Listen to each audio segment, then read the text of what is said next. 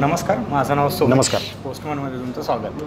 Thanks मला सगळ्यात आधी तुम्हाला नाही का खूप भारी कोइन्सिडेन्सेस विषयी सांगायचं आहे. जनरली असं ॲक्टर्सला विचारतात की तुम्ही अमिताभ बच्चनसोबत काम केलं आहे अजय देवगनसोबत केलं तुमच्याविषयी जरा वेगळं आहे. तुम्ही अजय देवगनला मारलं आहे तुम्ही अमिताभ बच्चनला मारलं तर तुम्हाला अशाच नाही का स्टार स्टक होतात की कोणाला तरी भेटलं. जसं मी झालो आहे थोडासा. तर तुम्ही अशा मोठ्या मोठ्या स्टार्सला मारले त्याबद्दलचा तुमचा अनुभव कसा होता? आणि तुम्हाला कधी लक्षात आलं का की असं झालं आहे नाही ॲक्च्युली कसं झालं माझा पहिला सिनेमा म्हणजे त्याच्या आधी मी मराठी सिनेमा पण नाही केला होता. मोठा पडदा माझ्यासाठी खाकी पहिला सिनेमा माझा राजकुमार संतोषी दिग्दर्शक हो. तर बच्चन साहेबांना मारणं हा हा स्क्रीन प्लेमध्ये सीन नव्हता. बरं. तो लोणावळ्यात त्यांना सुचला शूटिंगच्या दरम्यान हां. राजींना. आणि त्यांचं म्हणणं काय होतं सिनेमाच्या पॉईंट ऑफ व्ह्यूने एस पीच्या कानाखाली एक कॉन्स्टेबल आणि एक हेड कॉन्स्टेबल कानाखाली मारतोय हां. आणि पब्लिकच्या पॉईंट ऑफ व्ह्यूने व्हेरी व्हेरी व्हेरी नोन पर्सनला एक अननोन पर्सन कानाखाली मारत आहेत असा तो कॉन्सेप्ट होता आणि तो साहजिकच बच्चन साहेबांना सांगितलं त्यांना पण तो सीन आवडला आणि त्यांनी पण ते करायला तयार झाले. आणि तो तसाच वर्क झाला. प्रेक्षकांना तो तसाच अपील जसा तो तुमच्या आता याच्या बोलण्यावर मला जाणवलं होतं तर तसाच अपील सरप्राईज आणि राहिली गोष्ट की दृश्यमची. तर दृश्यमचं ते कॅरेक्टर तसं आहे. हो. की जे हात धुवून पाठी लागलेलं आहे. भले ते तुम्हाला ते निगेटिव्ह जरी वाटलं तर सिनेमाच्या दृष्टीने पाहायला गेलं तर तो गायतोंडे हा सच्चा आहे. हो. फक्त त्याचं ते चरित्र दाखवलेलं आहे त्या गायतोंडेचं की हा पन्नास रुपये पण घेतो. लपडी करतो त्याच्या हे करतो. हा आणि त्याच्यावर तो जळतो चाळगावकरवरती तर त्यामुळे तो निगेटिव्ह भूमिकेत तुम्हाला गायतोंडे अपील होतो दिसतो. असं आहे. अजय मारताना असं झालं का की अरे कसं मारू सरांना? नाही तसं काही नाही. अजय देवगण खूप खूप खूप कॉपरेटिव्ह आर्टिस्ट आहेत. आणि खूप चांगले चांगला माणूस आहेत ते. आणि उत्तम कलाकार आहेत त्यांच्याबद्दल सांगायची गरजच नाही. पण हा जो सीन होता ना हा आम्ही जो डिझाईन केला होता आमच्या फाईट मास्टरनी रॉड्रिकजीने तो पहिला वन सीन वन शॉट आम्ही तो शूट. शूट केला. One scene one shot design केला होता तो. म्हणजे अख्ख्या फॅमिलीला मी मारतोय तिथे. अजय देवगण सरांना मारतोय अख्ख्या फॅमिलीला मारतोय. त्यात लेडीज आहेत त्या दोघी. हो एक छोटी मुलगी हा छोटी मुलगी आहे तिथे. दोन लेडीज आहेत. हो. तर तो सीन म्हणजे कर करत असताना कसं होतं ते एक तर वन सीन वन शॉट करायचा आहे. आणि त्यात भरपूर मारलाय पण ते सेन्सॉर झाल्यामुळे ते तुम्हाला कमी दिसलंय. आणि मग नंतर कटिंग काढली हा मोठा होता मारण्याचा सीन मग फक्त एवढंच मला सांभाळायचं होतं की अजय देवगण सरांना ते पहिलंच मी येतो आणि लाथ मारतो. त्याच्या साऊथ इंडियन व्हर्जनमध्ये कारण जास्त आहे हो. तर लात मारतोय ना तर ती फक्त लात मला कारण ते मी वॉकिंग चालत चालत म्हणून अशी लात मारतोय. त्यामुळे आधी डिस्टन्सचा अंदाज येणार हो. नाही चालत आल्यामुळे. हो. तर तो फक्त मी घेतला आणि त्यांनी फक्त एवढंच म्हणाले अजय म्हणजे पहिलं असिस्टंट फाइट मास्टर बोले कमलेश जी संभल के जरा लग सकते तो अजय हाँ कमलेश लग सकता है पेट है. इसके ऊपर तो अपना धंधा है.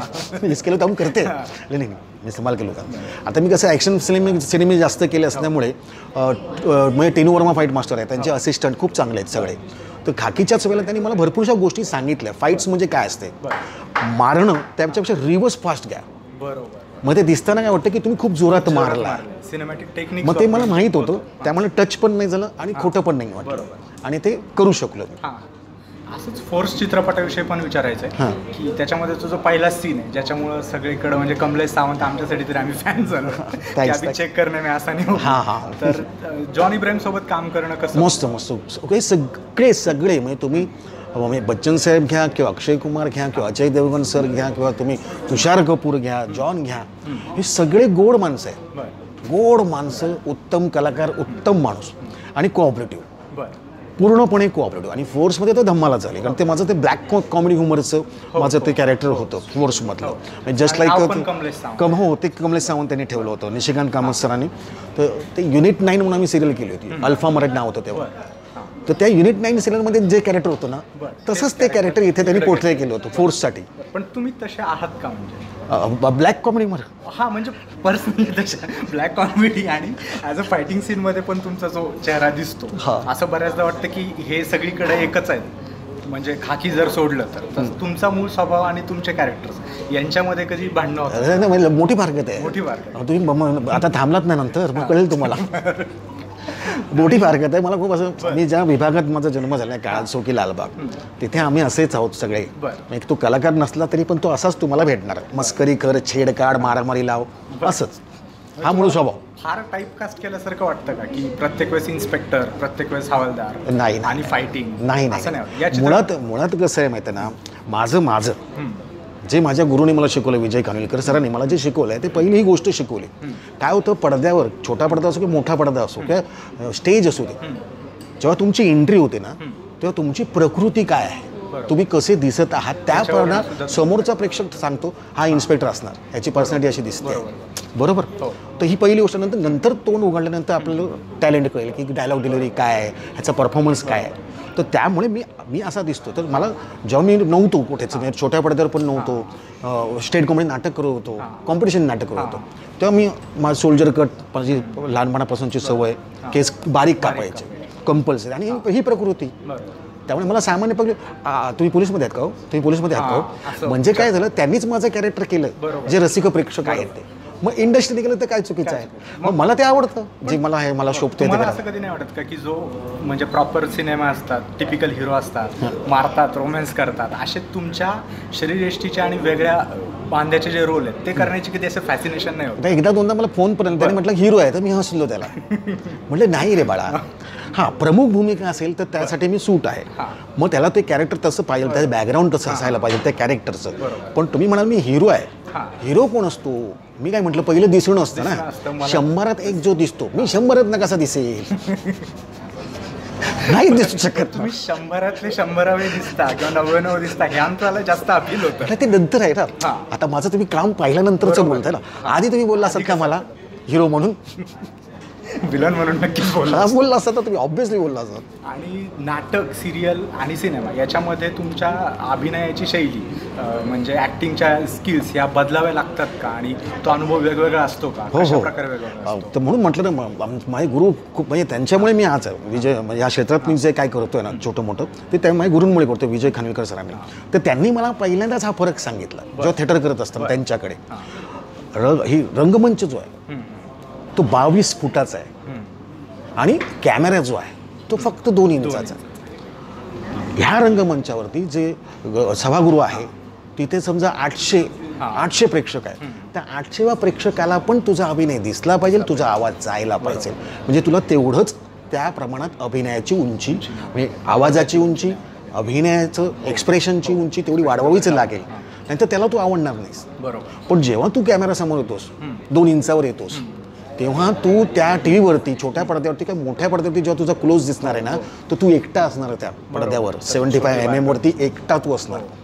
तेव्हा तुला ते कळलं पाहिजे की आपल्याला तेवढीच ॲक्टिंग करायची आणि तेवढाच आवाज जो डबिंगच होतो तर तेवढंच करायचं. तर तुमच्यामध्ये त्याच्या आधी मी माझं मत सांगतो की मला तरी मराठी कलाकार जे नाट्यसृष्टीतनं सिनेमासृष्टीत जातात त्यांच्यात हे खूप जाणवतं ते खूप जास्त लाऊड असतात जे सिनेमासाठी पाहिजे नसतं. आणि मराठी सिनेमासृष्टीत ती जी सिनेमॅटिक ॲक्टिंग असती जशी हिंदीमध्ये नसरुद्दीन शाह ओमपुरे यांनी आयडियलिझम तयार करून ठेवलं तसं मला मराठीत दिसत नाही. तर तुम्हाला याच्याबद्दल वाटतं का की त्या कलाकारांना ते ट्रान्झॅक्शन ते भाषेचं आहे. कसं आहे माहिती ते गंमतच भाषेची आहे आपल्या. आपली मराठी भाषा आहे ना ही पाण्यासारखी आहे. ती आपण कशीही फिरवू शकतो तरी पण टेन्स चेंज होत नाही. बरोबर. म्हणजे मी इथून गेलो काय इथून मी गेलो काय गेलो मी इथून काय हां. तरी तेच माझ्या डिलिव्हरीप्रमाणे मी तेच करणार बरोबर. हो. म्हणजे मी त्या भाषेबरोबर खेळू शकतो. हां. हिंदी भाषेला जरा जडत्व आहे. तर तुम्ही त्याला जास्त खेळू शकत नाही. भाषेला नाही. भाषेला तुम्ही त्याची गंमत करू शकत नाही. कारण तिला ओरिजिनल त्या भाषेलाच जडत्व आहे. आलो रे आलो रे. म्हणजे जेव्हा तुम्ही मला त्या मराठीत प्रश्न विचारता तुमचा एक चेहरा स्माईल आहे पण तुम्ही जेव्हा मला हिंदीत प्रश्न विचारता तुम्ही तेवढे हल्ले नसतात मी- मी पण तुम्हाला उत्तर तेवढा हल्लो नसतो. बरोबर. कारण त्याला ओरिजिनल जडत्व आहे त्या भाषेला. तर तो फरक आहे. बरं. मग ते ओव्हर करत नाहीत. ते इम्प्रोव्हायझेशन तसंच असतं ना मराठीचं. मला असं करत मी हा असा करतो तर मी असं करतो. मग असं आहे याच्यावरून ते. मला माझ्या स्क्रिप्टच्या बाहेर जाऊन असं विचारायचं वाटतं की भाषेसाठी तुम्ही काही जो अभ्यास केला तर तुमचे फेवरेट लेखक कुठले? मग ऑब्विसली म्हणजे प्रेमचंद. हां. मी जवळजवळ सगळं उपन्यास त्यांचे वाचून झालेले आहे प्रेमचंदचे शरदचंद्र चट्टोपाध्यायांचे झालेले आहेत. आणि मी आता परत वाचतोय. प्रेमचंद आणि शरदचंद्र चट्टोपाध्याय. परत. बरं. आणि मराठीत मराठीत मराठीचं वाचन मी तेवढं जास्त केलं नाही. तर मी महाराष्ट्र टाइम्स नाड्या जो पेपर आहे लोकसत्ता येतो ते मी पेपर पेपर वाचन करतो. त्यामुळे पुस्तकाचं नाही केलं. पु. ल. देशपांडे. त्यांचं मी वाचन केलेलं आहे. त्याप्रमाणे मी मराठीचं मी खूप कमी काय केलं. कारण काय झालं माझी सुरुवात हिंदीतनं आली. आणि मला शिवाजी साठम सरांनी जेव्हा मी सी आय डीचा पहिला एपिसोड केला हो होता हो हो तर त्यांनी माझं बघितलं. तर मला कमलेश तू काय कर माहिती आहे आपलं मराठी ॲक्सेंट तुझा जास्त येतो. ऑब्विसली येणार कारण तू मराठी थिएटरमधनं आलेला आहेस. तर तू काय कर नवभारत टाइम्स घे. त्यात हिंदी चांगलं लिहून येतं. ते वाचत राहा. किंवा लायब्ररी जॉईन कर. मग तेव्हा मी काळा चौकीला होतो. मग दादरची धुरुवलची लायब्ररी जॉईन केली. आणि मी ते वाचन सुरू केलं. ओके. जेणेकरून मग तो मराठी ॲक्सेंट कमी यावा. हां हां. कारण जनरली आपलं कसं आपण मराठीत बोलतो तर आपलं मराठी मराठी आपण राहतो ते मराठी मराठी मराठी. त्यामुळे मग आपल्या त्या भाषेचं प्रभुत्व येत नाही. प्रभुत्व तेवढं येत नाही. कारण आपण कधीतरी हिंदी बोलणार कोणतरी हिंदी भाषेत आपल्याला कोणतरी मिळाला तरच आपण बोलणार. असं होतं. आता माझी मुलगी पाच वर्षाची आहे. ती अस्खलित हिंदी बोलते. कारण ती आता राहतेच त्या प्रिमायसेसमध्ये लोधासारख्या माझीवऱ्याला गोयंका इंटरनॅशनल स्कूलमध्ये येते त्यामुळे ती आणि कार्टून नेटवर्क बघते हिंदी. हां. त्यामुळे तिची भाषा मराठी घाणेडी झालेली आहे. पण हिंदी. अस्खलित आहे. बरं. आणि याच्या पलीकडे जाऊन असं विचार असं वाटतं की मराठी चित्रपटसृष्टी आता बदलती. संजय दत्त प्रियंका चोप्रा असे प्रोड्युसर येत आहे. आधी जेवढं ग्लॅमर नव्हतं तेवढं आता येत आहे. सैराट नंतर वेव आली. पण ॲट द सेम टाइम या ग्लॅम ग्लॅमर सोबत असं दिसतं की भाईसारख्या चित्रपटाला सुद्धा स्क्रीनसाठी भांडावं लागलं. तर मराठी चित्र चित्रपट सिनेपटसृष्टी बदलती असं तुम्हाला वाटतंय का? म्हणजे काय नाही नाही नाही. काय झालंय तुम्हाला सांगतो? सुवर्ण काळ हां. येतोय. जो मध्यंतरी गेला होता. तो परत येतो आहे येतो आहे सिनेमे मराठी खूप बनतायत. बरं. आता काय होतं की मी ॲज अ निर्माता मी किती वेळ थांबू? हां. चल आता हिंदी सिनेमा समोर आलाय मग नको थांबूया जरा. अरे पण त्या पुढच्या आठवड्यात परत आठ सिनेमात मराठी. कारण जिथे वर्षभरात पन्नास सिनेमे मरा मराठी बनवत होते. आता पावणे दोनशेचा आकडा आहे हो वर्षभराचा. मग मी किती थांबणार? त्याला ह्या वर्षातच करायचं असेल त्याला अनुदान पाहिजे असेल तर त्याला ह्या वर्षातच तो प्रदर्शित करायचा सिनेमा. मग तो किती वेळ थांबणार मला सांगा? मग तो करतो चल सात ते सात सिनेमे. मग त्याच्यात तो करतो. मग मग तुम्हाला कसं मिळणार स्क्रीन्स तेवढ्या? सात सिनेमे जर प्रदर्शित होत असतील आणि त्यात एकाचा हिंदी समोर असेल हो. तर कशा स्क्रीन्स मिळणार तुम्हाला? गेल्याच त्या. आणि ऑब्विसली बघा मला धंदा करायचा आहे. थिएटरवाला काय विचार करतो? आता तुम्ही मल्टिप्लेक्स घ्या त्याच्यामध्ये तुमचं एटी ट्वेंटी असतं. तर ते साहजिकच जर मला धंदा करायचा असेल तर तो मी काय तो काय काय बाबा विचार करणार पहिला? हिंदीचाच विचार करणार ना. मोस्टली त्याच्यात त्याची काय चुकी बरोबर. आणि मराठी प्रेक्षकांनी याबाबत कसं वागलं पाहिजे? नाही नाही, आता मराठी प्रेक्षक येतोय मराठी प्रेक्षक आता काय झालंय ह्या दहा दहा दहा वर्षामध्ये दहा दहा वर्षांनी प्रत्येक प्रेक्षकाचा हा स्वाद बदलत जातो मनोरंजनाचा हो. मनोरंजन रिसीव्ह करण्याचा.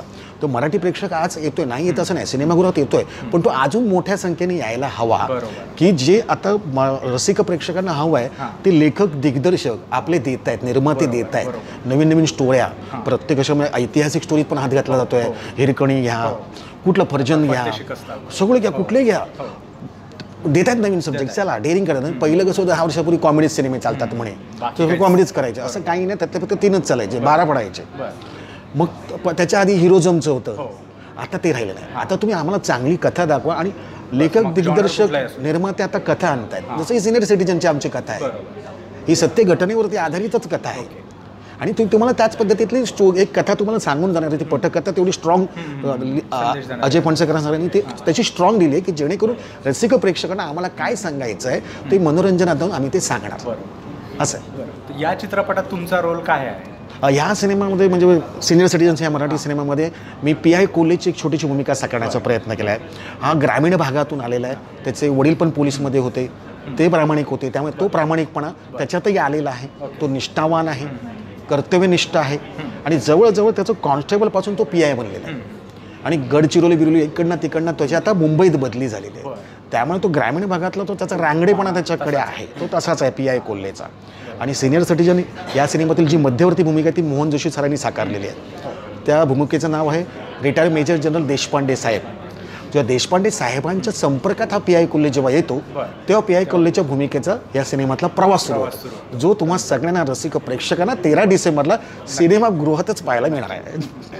तर तेरा डिसेंबरला सिनियर सिटीजन हा चित्रपट रिलीज होतो. हा चित्रपट नक्की बघा आणि तुम्ही आमच्यासोबत गप्पा मारला त्यासाठी धन्यवाद. धन्यवाद.